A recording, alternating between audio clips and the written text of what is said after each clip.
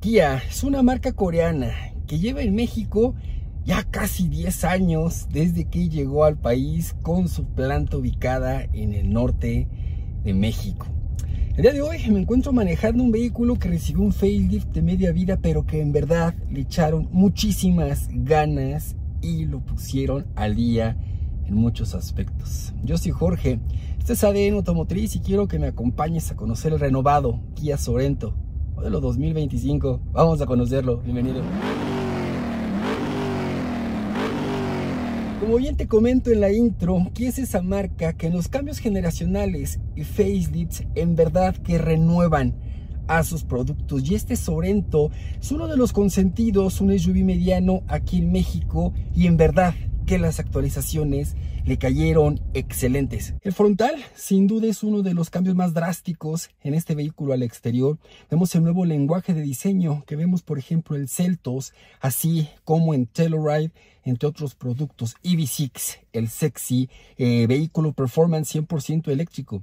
Se quedan desde la generación pasada estos ópticos diurnos en color ámbar. La enorme Tiger Nose o parrilla es enorme. Ya no tiene nada de delicada como lo tenía antes, más estética. Ahorita una boca agresiva en negro al alto brillo que sin duda va totalmente con el nuevo concepto de Sorento. En el capó, la letra esquía con el nuevo anagrama tenemos una fascia deportiva eh, con entradas de aire, deportiva visualmente, bitono, con neblineros 100% LED, así como los diurnos principales direccionales, así como intermitentes.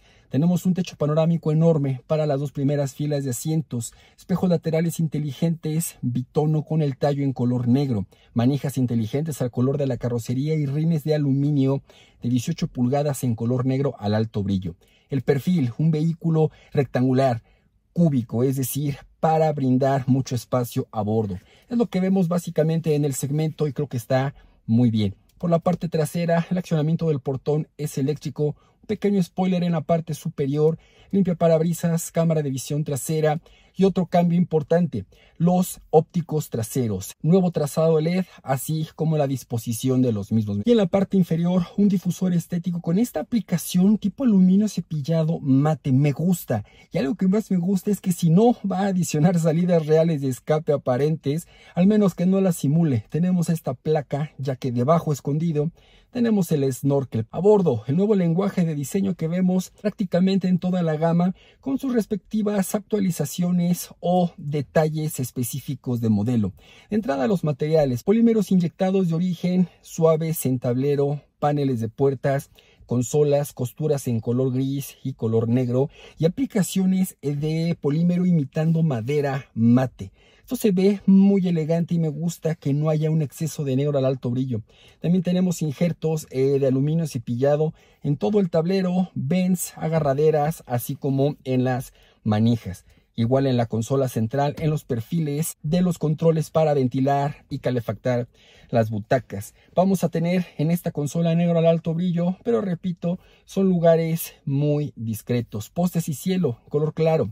Tal vez para esta versión me hubiera gustado un color negro, acentuando más la deportividad. Sin embargo, las butacas, la comodidad, esto es muy Kia en el buen sentido.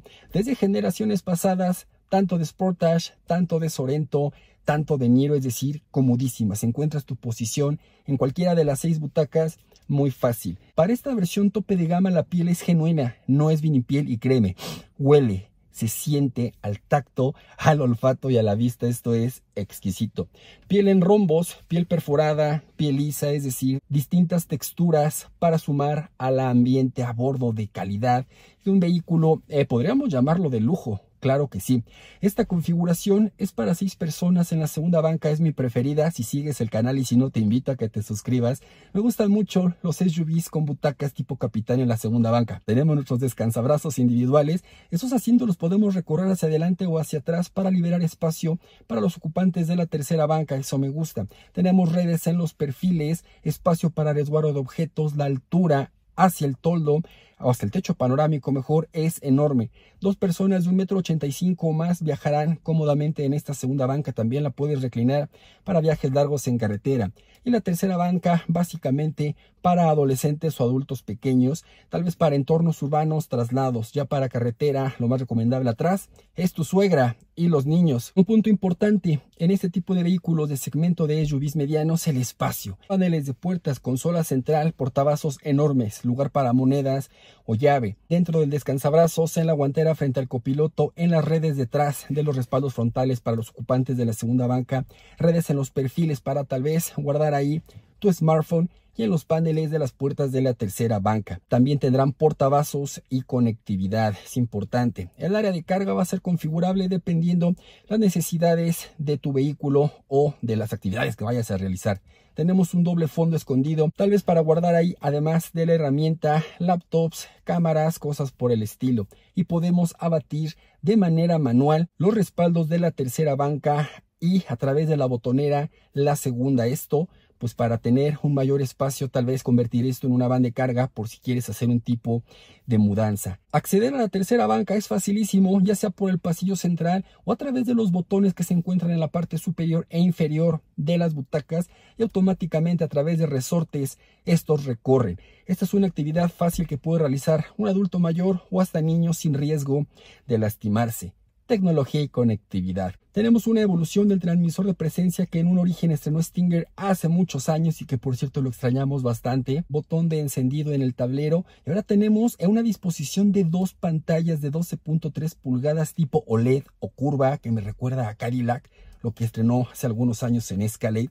Esto se ve espectacular tenemos el clúster en esta pantalla de 12.3 pulgadas con todo tipo de contenido afín al vehículo, eh, computadora de viaje, control crucero con stop and go, audio, telefonía, configuraciones del vehículo, velocidad, tacómetro, gasolina, temperatura, etcétera. Esto manipulable a través del nuevo volante multifunción me gusta, se ve moderno, redondo, es decir, no achatado, deportivo en la parte inferior, con aplicaciones en negro al alto brillo, cromo, aluminio cepillado, paddle shifters plastificadas en la parte trasera y botonera para operar la pantalla, control por voz, telefonía, control crucero y la computadora. A esto se suman ópticos limpiaparabrisas automáticos, vidrios, espejos, seguros eléctricos, los cuatro de un solo toque para bajar y subir, memorias para el puesto de conducción, la luz interior ambiental adelante y atrás es LED, el retrovisor electrocrómico y al centro del tablero esta touch con Android Auto, Apple CarPlay inalámbrico, podemos vincular mediante Bluetooth para audio y llamadas, tenemos navegación GPS, todo tipo de specs del vehículo, de la seguridad semiautónomo del paquete ADAS, podemos reproducir el sistema de audio firmado por Bose a través de 12 altavoces que se escucha increíble, así como gadgets digitales, notas de voz, los sonidos naturales o ambientales de la nueva generación de Kia, el aire acondicionado, etc. Algo importante también a destacar, el software es nuevo, ya evolucionó del que veíamos anteriormente en los productos de generaciones pasadas de Kia. Me gusta, es muy intuitivo.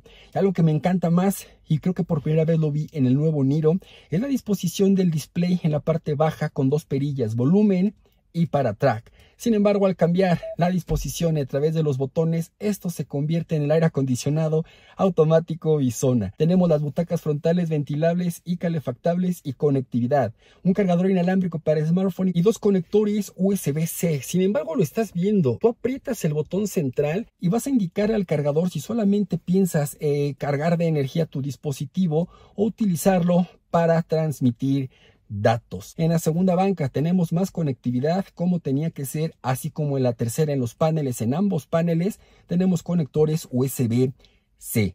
Ahora vamos a platicar acerca de los motores que impulsa a este renovado Sorento 2025 en México. Te comento que son tres versiones, dos con motor naturalmente aspirado, cuatro cilindros, un nuevo 2.5 litros con casi 200 caballos de fuerza y este SXL turbo con el mismo motor pero con un turbocargador, elevando la potencia a más de 270 caballos y más de 300 libras de par al eje delantero. Para las versiones con motor atmosférico, este motor va a venir asociado a una transmisión automática convencional de convertidor de par y para esta tope de gama turbo cargada a una de 8 también, pero de doble clutch o DST, es decir, para un manejo un poco más ágil. Tenemos la dirección eléctricamente asistida, freno de estacionamiento electrónico con auto hold, sistema start-stop de motor para ahorro de combustible en semáforos y tránsito pesado, así como el drive mode o los modos de manejo, eco, normal, sport y smart. Lo recomiendo siempre en Smart, ya que la computadora va a dosificar la potencia o te va a entregar más torque dependiendo el estilo de manejo que tengas. Ahora, si platicamos un poquito acerca del manejo de este vehículo, esta motorización de entrada, ambas, mejor dicho, ya las habíamos visto antes de este facelift, es decir, modelo 2024 o 2023. Tanto la aspirada como esta turbocargada. Lo que me agrada es la nueva puesta a punto que este vehículo recibió, o mejor dicho, este tren motriz. Percibes un vehículo bastante ágil. Es un vehículo muy largo, casi 5 metros de largo, capacidad para 6 personas. Tiene mucho peso, vas a cargar con muchas cosas. Sin embargo, gracias a la tecnología y a la ingeniería y la buena puesta a punto que la gente de Kia Corea Kia Estados Unidos y Kia México realizó para la homologación de estos productos para la venta en el país. Es un motor turbocargado y en cualquier modo de manejo potencia vas a tener en todo momento hasta en modo eco. Ya te comento, recomiendo modo Smart para dosificar la potencia dependiendo la superficie por la que vayas circulando. Potencia definitivamente no le falta a este Sorento ni con dos, cuatro o seis personas a bordo. Tuve un viaje en carretera, cinco personas, cosas en el área de carga, hasta una mascota y créeme que el vehículo se desempeña de la mejor manera para realizar rebases, pendientes pronunciadas, descenderlas, es decir, sientes un vehículo bien plantado, una relación peso-potencia muy bien equilibrada. Los ocupantes de la segunda y tercera banca no sienten esa turbulencia o inestabilidad por el tipo de vehículo muy alto y muy largo, por decirlo de algún modo, es decir, transmite muchísima seguridad este nuevo Sorento. A altas velocidades, 140, 160, más o menos el vehículo destaca por la estabilidad y suavidad de la suspensión. Percibes un vehículo muy bien insonorizado. Pasas por terrenos irregulares, no hay crujidos de piezas, cinturones, vidrios, quemacocos, reglaje de los asientos, ya sabes. Es un vehículo con infinidad de piezas, muchas butacas, mucho equipamiento y circulando a altas velocidades con el radio y el aire acondicionado apagado, esto se convierte en verdad en una bóveda. Qué rico es manejar este vehículo a altas velocidades. Los consumos, los esperados por el peso del mismo vehículo, por el motor grande 2.5 turbocargado, pero considerando el modo de manejo Smart en el cual lo traje, prácticamente toda la semana me estuvo rondando entre 9.6 y 10.11 kilómetros por litro. En carretera, dependiendo del modo de manejo, el start-stop y tu estilo de manejo, sin duda va a ser el reflejo de los consumos que a ti te entregue. Algo que también ayuda mucho, eh, todo el sistema en seguridad que incluye frenos de disco en las cuatro ruedas, ABS, control de estabilidad, tracción, seguridad a bordo para seis, como cabeceras, cinturones de seguridad, anclajes ISOFIX para sillas de niños, seguros en puertas traseras, nueve bolsas de aire, un radar, sensores y cámaras para el tema del aparcamiento, control crucero adaptativo con stop and go, detector de punto ciego en los espejos laterales, mantenimiento de carril, frenado de emergencia y algo que me encanta y si no mal recuerdo vi por primera vez en Hyundai Elantra, son las direccionales que ahora vemos dentro del clúster, es decir, tú activas la direccional izquierda o derecha y a través de la pantalla del clúster se va a visualizar lo que no viéramos en el punto ciego. Eso ayuda muchísimo y te evita hasta estar espejeando en los espejos tradicionales. Versiones y precios te las dejo en la descripción de este video junto con sus datos técnicos más importantes. Si hablamos acerca de los faltantes, tal vez adicionar un head-up display reflejado en el medallón sumaría la experiencia de no andar volteando tanto por todos lados y tener la vista siempre al frente.